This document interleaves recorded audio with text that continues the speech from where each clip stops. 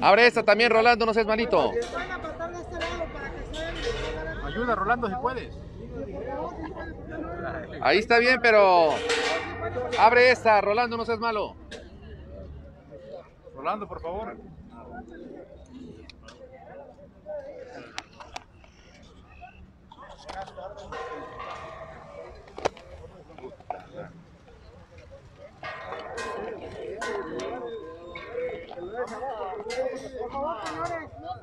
No se escucha ni se nada. No se va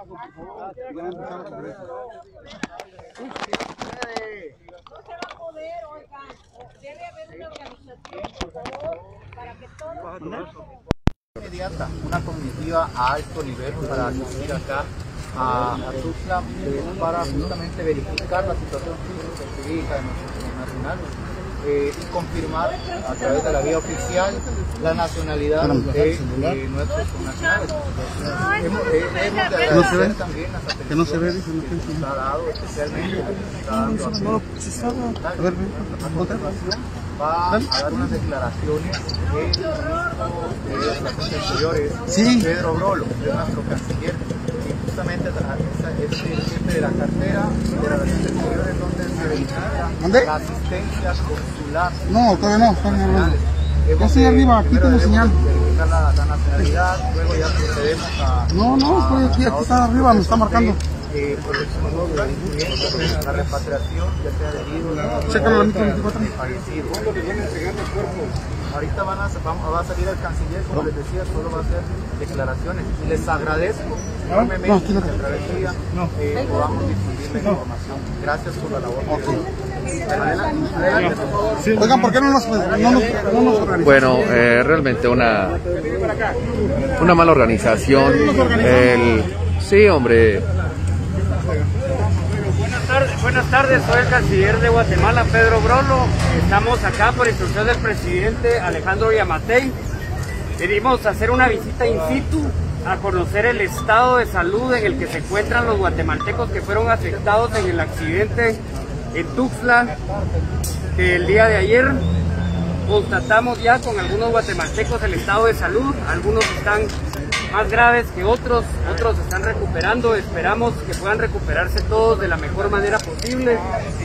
Hemos tenido todo el apoyo y las atenciones del gobierno federal de México como del estado de Chiapas, con quienes nos encontramos en este momento. El día de hoy, en unos momentos, aproximadamente una hora, viajaremos la delegación guatemalteca hacia Ciudad de México para encontrarnos con autoridades del gobierno federal de México y con mi homólogo, con el canciller Marcelo Ebrard, con quien daremos una conferencia de prensa junto con otros embajadores en relación con la situación y el problema migratorio que nos aqueja a nuestros países y que ha dado como resultado otra vez una tragedia.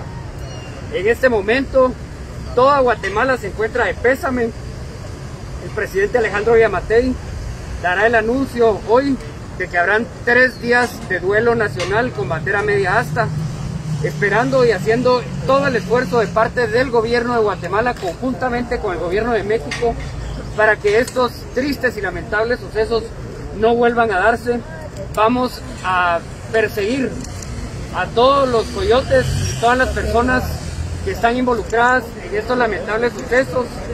El presidente Alejandro Yamatei viajó con la comitiva, con una comitiva y una delegación a Washington hace unos días, donde insistió al gobierno de los Estados Unidos la necesidad de declarar el tráfico ilícito de personas como un delito federal y que se incluyan en los procesos de extradición para que los coyotes puedan ser extraditados como un delito de, de de, de organizaciones eh, transnacionales. ¿Cuándo les van a entregar los cuerpos?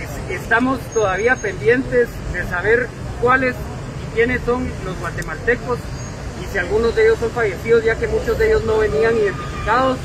Sabemos que hay otras nacionalidades también, por lo tanto vamos a ser cautelosos y prudentes en el manejo de la información. Recordemos que son vidas humanas y que hay familiares muy pendientes, muy preocupados de las personas que se encuentran acá, por lo tanto tenemos que darle un tratamiento humano como corresponde. ¿Habrá una petición para el gobierno mexicano? El gobierno, el gobierno de México y el canciller Marcelo Ebrard hemos estado en toda la comunicación. Sabemos que esto es un tema muy delicado, el tema migratorio nos, eh, nos pasa y nos está quejando a muchos de los países. Como ustedes saben, Guatemala no es un país de destino migratorio, es un país de tránsito de la misma forma que lo es México. Por lo tanto, no solamente guatemaltecos atraviesan el territorio mexicano, sino que muchas otras nacionalidades como lo hacen en Guatemala. Por lo, por lo tanto, eh, los, el gobierno de México ha dado todas las condiciones, como lo han hecho en otros casos eh, lamentables que se han dado, y hemos recibido siempre el apoyo del gobierno mexicano y estoy aquí eh, eh, haciéndome acompañar también con eh, miembros y funcionarios de la Secretaría de Relaciones Exteriores de México, como es el subsecretario Maximiliano Reyes, quien se encuentra aquí acompañando todo este proceso. Vamos a trabajar juntos, de la mano. La delegación guatemalteca viene, vengo acompañado con el viceministro de Asuntos Consulares y Migratorios y dos fiscales de delitos contra el migrante del Ministerio Público.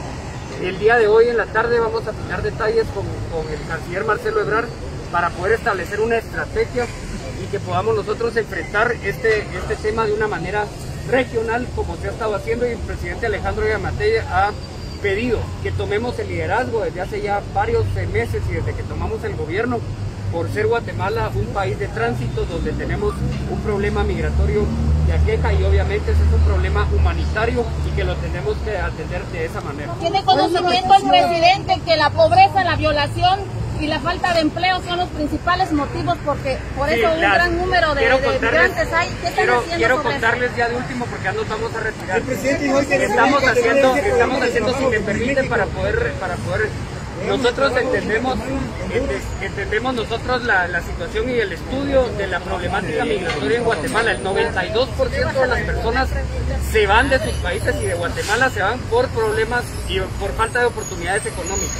Hay que hacer esfuerzos importantes y el presidente Alejandro Yamatei se está haciendo en la construcción de muros de oportunidad para que esta problemática no se dé en el largo plazo. Muchísimas gracias. Gracias.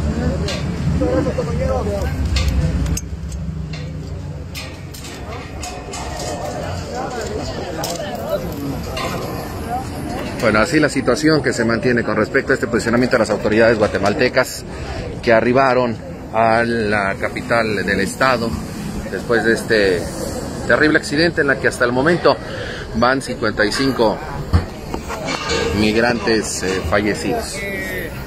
pues de lo poco que logramos alcanzar a escuchar, que fue muy bajito, con cubrebocas. Déjame, déjame regresar.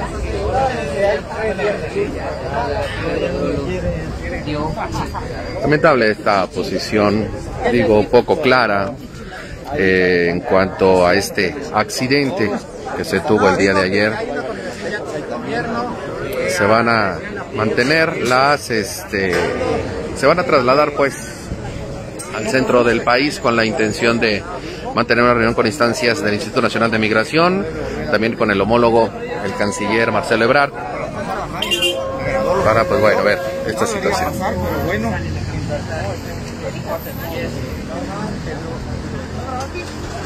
Pude, yo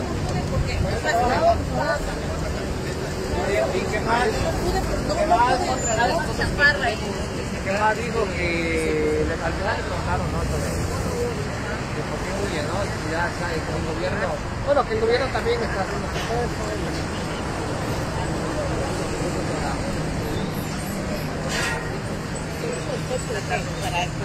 Gracias por acompañarnos en esta transmisión en vivo a través de Suceso Chiapas. Buenas tardes.